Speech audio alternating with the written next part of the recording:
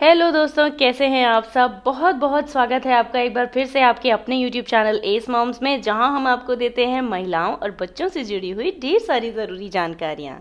दोस्तों, कोई ऐसा बच्चा नहीं है जिसके कभी पेट में दर्द ना होता हो।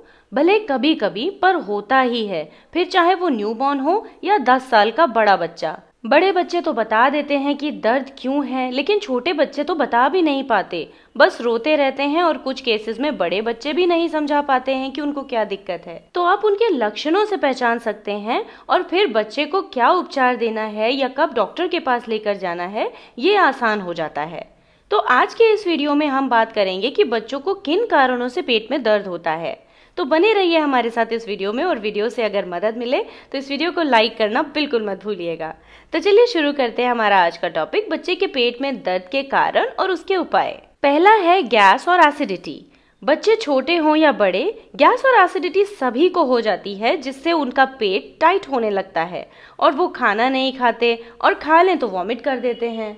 बच्चों में गैस की समस्या के उपचार पर हमने वीडियो भी किया है। वीडियो में दिए गए गैस और एसिडिटी के उपचार को अगर आप फॉलो करते हैं तो बच्चे को काफ़ी राहत मिलेगी। दूसरा है कॉन्स्टिपेशन। अगर बच्चा ठीक से फ्रेश नहीं हो पाएगा तो बॉडी वेस्ट बाहर नहीं आएगा, जो पेट में बैक्टीरिया पैदा करने लगता है और दर्द होने लगता है। एक साल से ऊपर के बच्चे को अगर कॉन्स्टिपेशन की शिकायत है तो इस पे हमने कुछ समय पहले एक वीडियो किया है, आप वो देख सकते हैं, उससे भी आपको काफ़ी हेल्प मिलेगी। तीसरा है इंटेस्टाइनल वर्म्स यानी पेट में कीड़े। ये छोटे बच्चों के साथ अक्सर हो जाता है और इसकी वजह से भी पेट दर्द होता है। क्योंकि पेट में कीड़े जख्म बना देते हैं और दर्द बढ़ता रहता है। इंटेस्टाइनल वर्म्स के लिए आपको बच्चे को क्या उपचार देने हैं, इस पर भी हम आपसे चैनल पर वीडियो शेयर कर चुके हैं। उससे आपको काफ़ी हेल्प मिलेगी। दोस्तों, हम सारे उपचार एक ही वीडियो में कवर नहीं कर पाएँगे, इसलिए हमने छोटे छोटे आपके लिए वीडियोस बना रखे हैं। तो जब भी आपको ये सारी चीज़ें देखनी है, आप वो वीडियो सर्च करके उसके उपचार देख सकते हैं और उससे आपको बहुत ज़्यादा हेल्प मिलेगी। यहाँ पे जो भी वीडियोस मैं आपको बता रही हूँ कि मैं बना चुकी हूँ, उनके लिंक्स मैं डिस्क्रिप्शन बॉक्स में शेयर कर दूँगी। आपको जो भी टॉपिक पे देखना है वीडियो आप उसके लिंक पे क्लिक करेंगे तो आप डायरेक्टली उस वीडियो पे पहुँच जाएँगे। चौथा है यूरिनरी ट्रैक्ट इन्फेक्शन ये इन्फेक्शन ज़्यादातर लड़कियों में देखा जाता है, चाहे वो छोटी हो या बड़ी, जिससे पेट के नीचे हिस्से में दर्द होता है।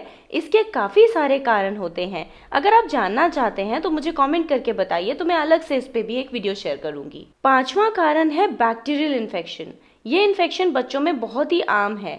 खास तौर पर उन बच्चों में जो बस चलना सीख रहे होते हैं, क्योंकि वो कुछ भी उठाकर मुँह में डाल लेते हैं, गंदा पानी पी लेते हैं या जो पानी आप बच्चे को देते हैं, वो बॉइल्ड नहीं होता तो बैक्टीरियल इन्फेक्शन हो जाता है और पेट में दर्द शुरू हो जाता है। छठा है फ़ूड पॉइजनिंग ये तब होता है जब आप बच्चे को बाहर का जंक फ़ूड स्ट्रीट फ़ूड ये सब खिलाते हैं। बाहर के खाने में आपको नहीं पता कि किस ऑयल से वो बना रहे हैं या किस बर्तन में वो खाना बना रहे हैं। वो हाइजीनिक है या नहीं है या फ्रेश है या नहीं है, जिससे कभी कभी बच्चों को फ़ूड पॉइजनिंग हो जाती है, जिससे बच्चों का पेट दर्द होता है वॉमिट होती है लूज मोशंस और इसके अलावा और भी कई तरीके की प्रॉब्लम्स हो जाती हैं। सातवां है वॉमिटिंग अगर किसी वजह से बच्चे को ज़्यादा वॉमिट हो रही है तो भी उनके पेट में दर्द होने लगता है। तो बच्चे को ऐसा कुछ भी ना दें जो उसको वॉमिट हो, या फिर अगर वो बीमार है और उसे उल्टियाँ हो रही हैं तो आप डॉक्टर से तुरंत कंसल्ट कर लीजिए। आठवां है अपेंडिक्स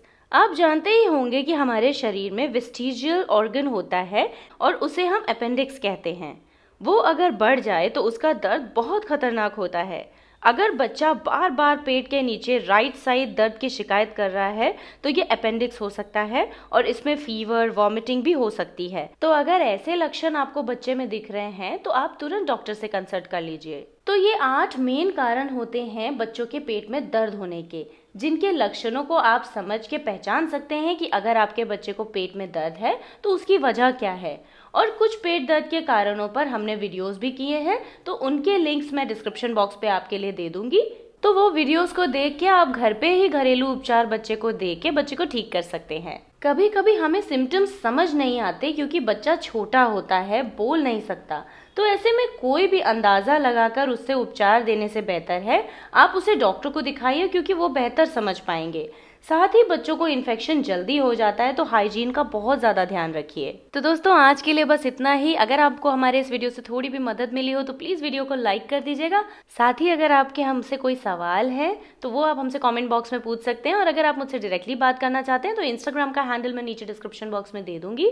आप वहाँ पे आके मुझे डायरेक्टली मैसेज करके भी अपने सवाल पूछ सकते हैं।